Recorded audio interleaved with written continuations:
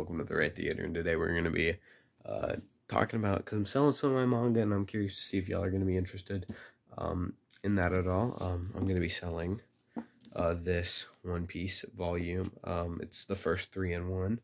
I'm also going to be selling um,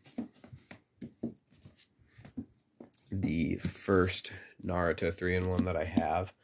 Um, I'm going to also be selling um, Undead Unluck um, volumes two here, uh, volume one. Uh, I'm also going to be selling volume two, um, as well as volume three of Undead Unluck. Um,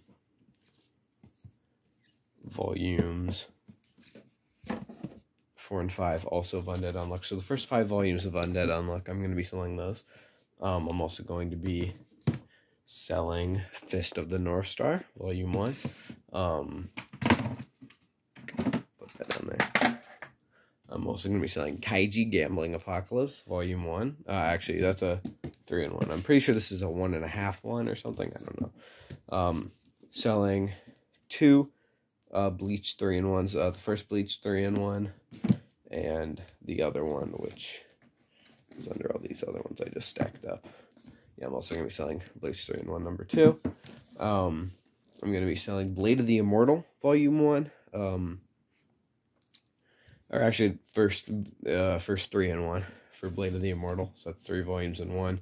And then I'm also going to be selling 20th Century Boys Volume 1. Um, uh, pretty sure that's also an omnibus. Um, and then this isn't manga, but I'm also going to be selling uh, Invincible Volume 1. Or uh, it's a big, giant compendium with the first, like, most of the story. There's only three, so it's the first third of the story.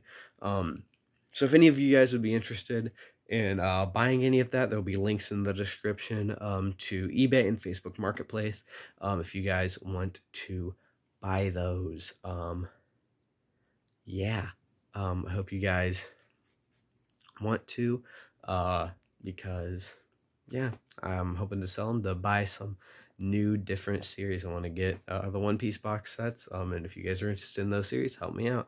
All of these have been uh, unboxed in a previous video, so they are um owned by me, and I've only read some of them. So, um, yeah. So if, if that adds any value to you that they've been in um one or two of my videos, uh, then let that add value. So yeah, I'll see you guys in the next one. Goodbye. Check out the links.